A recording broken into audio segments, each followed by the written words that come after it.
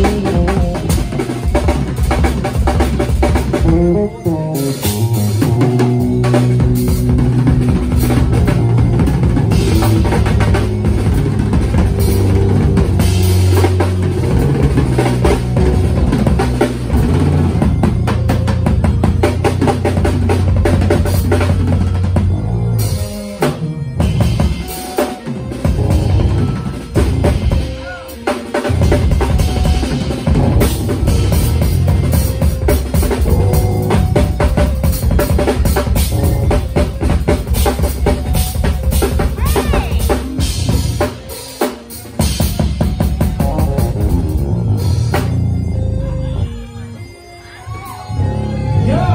give it up for Wanda Stone.